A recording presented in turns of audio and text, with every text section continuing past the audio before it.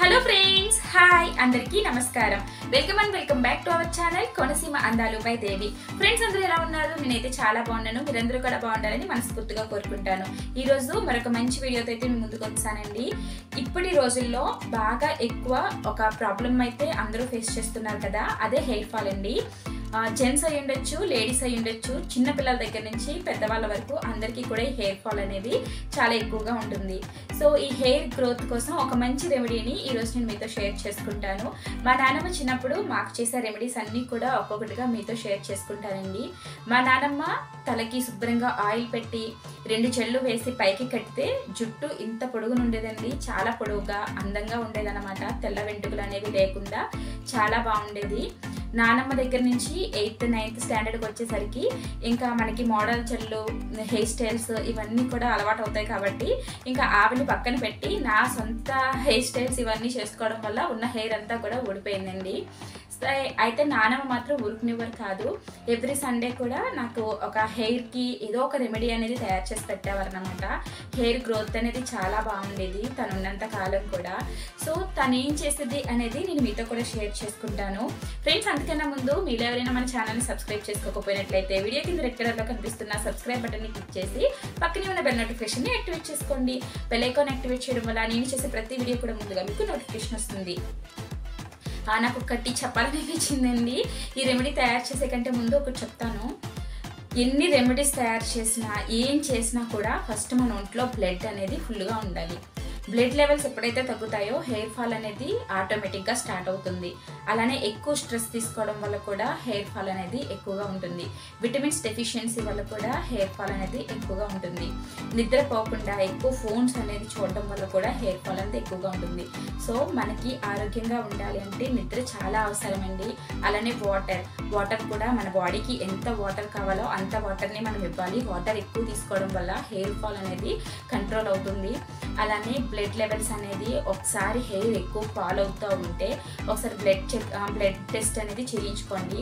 మీ haemoglobin ఎప్పుడైతే తక్కువైందో hair fall అనేది చాలా ఎక్కువగా ఉంటుంది. సో ఇవన్నీ ప్రాబ్లమ్స్ కూడా నేను ఆల్రెడీ నేను ఇదైనవేనండి. సో అందుకే మీ అందరికీ కూడా చెప్తున్నాను. ఒకసారి ఇవన్నీ కూడా మీరు చెక్ చేయించుకోండి. దానివల్ల ఏమైనా ప్రాబ్లమ్స్ ఉన్నాయా? అసలు ఎందుకు హెయిర్ ఫాల్ అవుతుంది అనేది ముందు మనం తెలుసుకోవాలి. అలానే కాకుండా ఇప్పుడు బయట నుంచి తీసుకొచ్చిన కెమికల్స్ కలిపి కలిపిన షాంపూస్ హెయిర్ ఆయిల్స్ ఇలా ఎన్నెన్నో మనం పెట్టేస్తున్నాం. ఇప్పుడంటే అవన్నీ వచ్చాయి కానీ పూర్వకాలంలో అవి లేవండి. ఓన్లీ కోకోనట్ ఆయిల్ అనమాట ప్యూర్ కోకోనట్ ఆయిల్ని తీసుకుని వాళ్ళకి తలకి పట్టించి మసాజ్ కింద చేసుకునేవారు. వారం అంతా హెయిర్ ఆయిల్ అప్లై చేస్తే ఒకసారి హెడ్ బాత్ చేసేవారు. ఇప్పుడు మనం ఏం చేస్తున్నామంటే వారానికి ఒకసారి హెయిర్ ఆయిల్ పెడతాము. మిగతా అన్ని రోజులు కూడా చక్కగా మనం హెడ్ బాత్ చేసుకుని జుట్టు విరబూసుకుని తిరుగుతూ ఉంటాము. దానివల్ల కూడా హెయిర్ అనేది ఎక్కువగా ఫాలో అవుతూ ఉంటుంది. వీటన్నిటికీ సొల్యూషన్ ఈరోజు మన వీడియోలో చూపిస్తాను. తప్పకుండా చూసేయండి.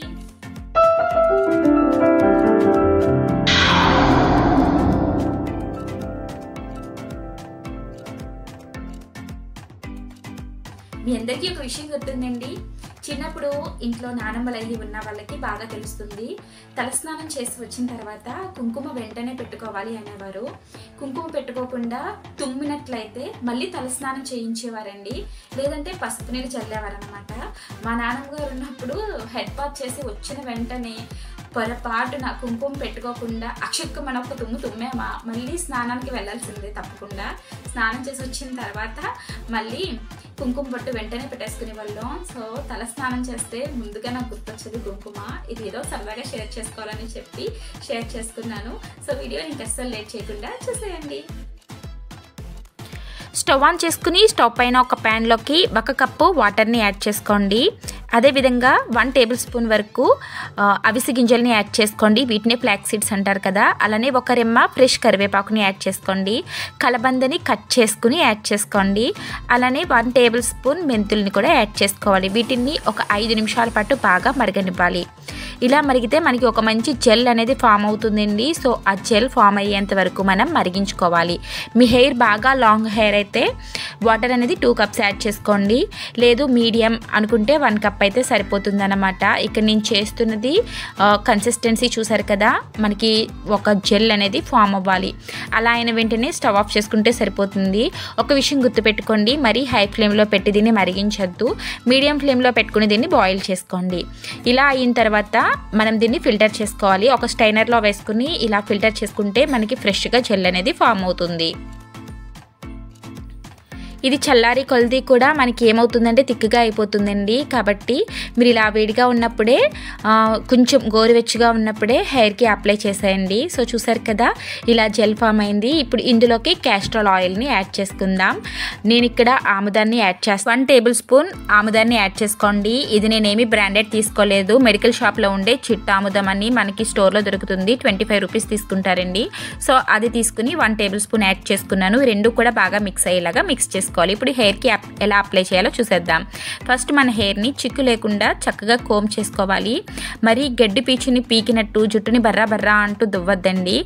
రెండు పార్ట్స్ కింద డివైడ్ చేసుకుని స్మూత్గా మన హెయిర్ అనేది ఓడకుండా స్లోగా హెయిర్ కోమ్ చేసుకోవాలి. ఆ తర్వాత మనం దీన్ని అప్లై చేసుకుందాం. ఇలా టూ పార్ట్స్ కింద డివైడ్ చేసుకుని హెయిర్కి అప్లై చేయడం వల్ల ఈవెన్గా హెయిర్ అంతటికి కూడా బాగా పడుతుంది. స్కాల్ప్కి పడుతుంది. అలానే హెయిర్ పైనుంచి మనకి కుదుటి నుంచి చివరి వరకు కూడా చక్కగా ఈ జెల్ అనేది పెట్టుకోవచ్చు అనమాట ఇది వారానికి ఒకసారి కంపల్సరీ చేయండి. ఎవ్రీ సండే ఖాళీ ఉన్నప్పుడు మీరు ఇలా వీక్లీ వన్స్ చేసినట్లయితే హెయిర్ హెయిర్ ఫాల్ అనేది తప్పకుండా ఆగిపోతుంది. అలానే హెయిర్ గ్రోత్ అనేది మీరే చూస్తారు. మీకు కుదిరితే వారానికి రెండు సార్లు పెట్టండి. లేదు జాబ్స్ చేసే లేడీస్ అలాంటి వాళ్ళు ఉంటారు కదా అలాంటి వాళ్ళు వారానికి ఒకసారి పెట్టుకోండి. జెంట్స్కి కూడా అప్లై చేయొచ్చు. పిల్లలు కూడా పెట్టుకోవచ్చండి. ఎవరికైనా చాలా బాగా సెట్ అవుతుంది. ఇంత ఇందులో మనం ఆముదాన్ని యూజ్ చేసాం కదండి. ఈ ఆముదం యూజ్ చేయడం వల్ల మన హెయిర్ అనేది వైట్గా అవ్వకుండా ఉపయోగపడుతుంది అనమాట వైట్ హెయిర్ రాకుండా ఈ ఆముదం ఎంతగానో హెల్ప్ చేస్తుంది. అలానే మన హెయిర్ అనేది స్ట్రాంగ్గా ఉంటుంది. అలానే చాలా లాంగ్గా కూడా పెరుగుతుందండి. ఆముదం వల్ల చాలా బెనిఫిట్స్ ఉన్నాయి. ఇప్పుడంటే కొబ్బరి నూనె ఇవన్నీ వాడుతున్నారు కానీ పూర్వకాలంలో ఎక్కువగా ఆముదాన్నే యూజ్ చేసేవారు. అలానే ఇందులో వేసిన మెంతులు. మెంతులు మన జుట్టుని షైన్ చేస్తాయి. అలానే మన స్కాల్ప్ని హెల్తీగా ఉంచుతుంది. అలాగే స్కాల్ప్ పైన ఉండే డాండ్రఫ్ అంతా పోవడానికి మనకి మెంతులు బాగా ఉపయోగపడతాయి. ఒంటిలో ఉండే వేడిని కూడా చల్లార్చడానికి మనకి మెంతులు చాలా బాగా ఉపయోగపడతాయండి. కరివేపాకు కూడా మన జుట్టు ఎదుగుదలకు ఎంతగానో ఉపయోగపడుతుంది. సో కలబంద కలబంద కూడా మన హెయిర్ గ్రోత్కి చాలా బాగుంటుంది. హెయిర్ని షైనీగా చేస్తుంది సిల్కీగా ఉంటుంది. సో కలబందను కూడా యూస్ చేయండి. ఆ తర్వాత నేను ఇలా ఫుల్గా పట్టించి పైనుంచి కింద వరకు కూడా ఇలా రెండు జెల్ అయితే వేసేస్తాను. ఇలా వేయడం వల్ల ఏంటంటే ప్రతి వెంటుకకి కూడా మనం పెట్టిన జెల్ అనేది అప్లై అవుతుంది. ఇలా వేసి ఒక హాఫ్ అన్ అవర్ ఉంచుకుని తర్వాత హెడ్ బాత్ చేసుకుంటే మంచి రిజల్ట్ అనేది వస్తుంది. మామూలు షాంపూతో కాకుండా ఇలా కుంకుడుకాయ శీకాకాయ మెంతులు ఈ మూడింటిని కూడా ఒక వాటర్లో ఒక కప్పు వాటర్లో వేసి ఒక ఐదు నిమిషాలు మరిగించాలి. ఇలా మరిగించడం వల్ల మనకి షాంపూ అనేది ఈజీగా తయారైపోతుంది. నేను ఆల్రెడీ వీటితో షాంపూ తయారు చేశానండి. ఆ లింక్ అనేది డిస్క్రిప్షన్లో ఇస్తాను. మీలో ఎవరికైనా తెలియకపోతే ఒకసారి చెక్ చేయండి. ఇలా వేసి ఒక ఐదు నిమిషాలు మనం మరిగిస్తే చాలు. మనకి చక్కగా షాంపూ అనేది తయారవుతుందన్నమాట. ఈ షాంపూతో మనం హెడ్ బాత్ చేసినట్లయితే బెస్ట్ రిజల్ట్స్ ఉంటాయి. కెమికల్ ఫ్రీ హెర్బల్ షాంపూ కాబట్టి ది బెస్ట్ రిజల్ట్ అనేది ఉంటుంది. తప్పకుండా మీరు ట్రై చేయండి. అలానే హెయిర్ మన తలస్నానం చేసిన తర్వాత ఇలా క్లాత్కి చుట్టి ఉంచొద్దండి. టవల్ తీసేసి ఊరికే గాలికి ఆరనివ్వండి. హెయిర్ డ్రయర్ అస్సలు యూజ్ చేయొద్దు. ఏదో ఎమర్జెన్సీ అయితే తప్పించి హెయిర్ డ్రయర్కి వెళ్ళొద్దు. న్యాచురల్గానే హెయిర్ని ఆరబెట్టుకోండి. ఇలా చేయడం వల్ల ఒక వన్ మంత్ వన్ మంత్కి ఫోర్ వీక్స్ ఉంటాయి ఫోర్ టైమ్స్ మీరు చేసినట్లయితే హెయిర్ ఫాల్ అనేది పూర్తిగా స్టాప్ అవుతుంది.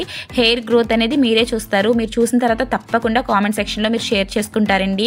హండ్రెడ్ పర్సెంట్ జెన్యున్గా చెప్తున్నాను. బెస్ట్ రిజల్ట్స్ వస్తుంది. ఫ్రెండ్స్ ఇది ఈ రోజు మన వీడియో ఈ వీడియో మీకు నచ్చిందా? లైక్ చేయండి షేర్ చేయండి అలానే మన ఛానల్ని సబ్స్క్రైబ్ చేయండి.